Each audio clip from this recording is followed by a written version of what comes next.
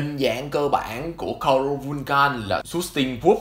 nó là sức mạnh được tạo ra từ Zaya và được nghiên cứu phát triển bởi người đồng đội của anh Yua. Có được sức mạnh từ Shock Drive do đã cải lệnh Yua và sử dụng nó để tấn công đám Himengi nổi loạn. Anh cũng có một phần sức mạnh là chiếc Roraiki Sustain Whoop nhưng anh không thể nào kích hoạt nó do đã bị Yua ngăn cản. Trong trận chiến với tên Magian thằng lằn bay cổ đại, mặc dù chiếc Roraiki không được mở khóa, đã dùng chính đôi tay của mình để bẻ khóa chỉ khi mà không cần sự chấp nhận. Sử dụng nó cùng với Source Ride, anh đã lần đầu tiên chuyển hóa thành Coral Vulcan Sustain Wolf Tông màu chủ đạo là bạc cùng với màu trắng, với phần nửa phải cơ thể được bao phủ màu xanh dương, cũng như những viên đỏ đại diện cho chiếc Roraiki Sustain Wolf cũng như là khẩu súng Source Ride tạo chúng ta cảm giác như khẩu short strike này chỉ phát huy được một nửa sức mạnh của những chiếc Roraiki chưa hoàn toàn nắm vững sức mạnh của nó. Tạo hình của anh cũng giống như Zero One là gương mặt được tạo hình bằng chiếc mặt nạ nhưng nó lại trùng màu với phần màu trắng của toàn bộ cơ thể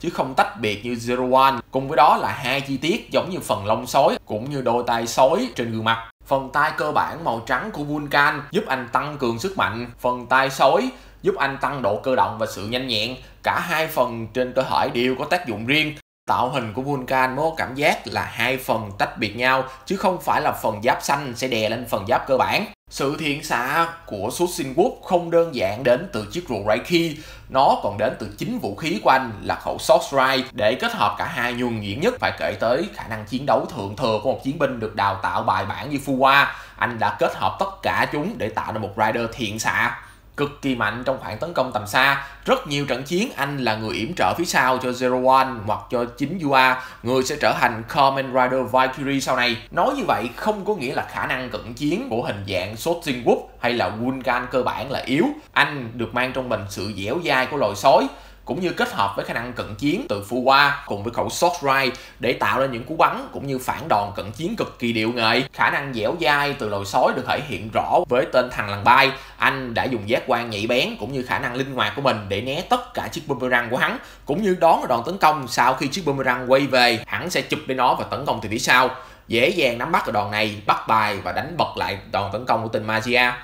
Một trận chiến khác cũng thể hiện rõ sức mạnh và sự dẻo dai của Vulcan, đó là trận chiến anh đối đầu với Valkyrie. Valkyrie sử dụng tốc độ của loài báo để áp đảo anh, nhưng anh đã nhanh chóng tập trung và bắt bài cô, xe ra một đoàn trực diện để kết liễu anh. Anh đã dùng sự dẻo dai của mình để phản công cũng như đánh bại cô bằng khả năng nhắm bắn chuẩn xác, giành được thắng lợi trong trận chiến đó. Đòn tất sát của anh sử dụng Short Ride là Sustain Blast